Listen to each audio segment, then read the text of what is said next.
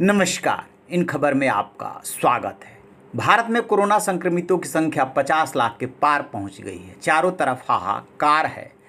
यूँ तो कोरोना के प्रभाव को कम करने के लिए कई दवाइयाँ मार्केट में आ गई है, लेकिन पूरी दुनिया को इंतज़ार है कि वैक्सीन कब आएगी, जिसको लगाने के बाद इस बात की गारंटी हो कि उस व्यक्ति को कोरोना नहीं होगा। अलग अलग देशों में डेढ़ से दो दर्जन वैक्सीन पे काम चल रहा है, जो सेकेंड फ़ेज़ या थर्ड फ़ेज़ के ट्रायल्स के दौर से गुजर रहे हैं। लेकिन इस बीच भारत के लिए अच्छी खबर ये है कि रूस की जो कंपनी है फार्मा कंपनी और भारत की जो फार्मा कंपनी है उसके बीच में एक करार हुआ है और उस वो दोनों कंपनियाँ जो हैं उनका नाम है sovereign wealth fund R D I F Russian direct investment fund और भारत की जो कंपनी है डॉक्टर रेड्डी इनके बीच में दस करोड़ डोज लेने का करार हुआ है। आ, कहा यह भी जा रहा है कि भारत की ओर से सभी रेगुलेटरी मंजूरी मिल गई है। रूस ने इस वैक्सीन का नाम स्पुतनिक वी दिया है। रूसी भाषा में स्पुतनिक शब्द का अर्थ होता है सेटेलाइट। रूस ने ही विश्व का पहला सेटेलाइट बनाया था। उसी के नाम पे इसका नाम स्पुतनिक वी यानी वी से मतलब वैक्सीन रखा गया है।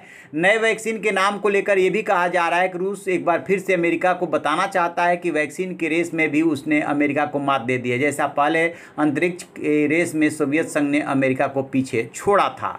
एक बात की और जानकारी आपको दे दें कि पिछले दिनों आईसीएमआर और जो नीति आयोग के सदस्य हैं, उन्होंने भी बताया था कि स्पुतनिक वी को लेकर के रूस के साथ भारत की वार्ता चल रही है और जो भी नॉर्म्स हैं, स्टैंडर्ड्स हैं, उसको पूरा करने के बाद भारत इस दिशा में आगे बढ़ेगा। और अब डॉक्टर रेड्डी और रूसी कंपनी के बीच में समझौता होने की बात आ रही है। ये भी बात कही गई है कि सब कुछ ठीक रहा तो नवंबर तक ये वैक्सीन भारत को मिल सकती है।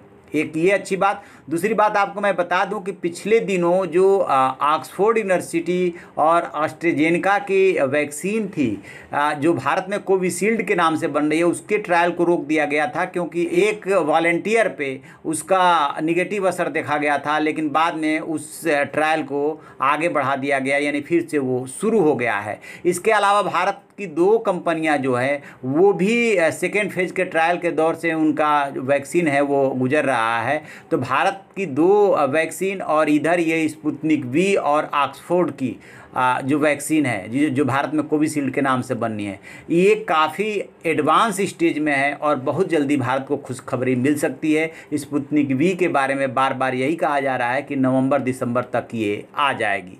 तो आप ऐसी खबरों के लिए देखते रहिए हमारा डिजिटल चैनल इन खबर। Thank you. इन खबर चैनल को सब्सक्राइब करें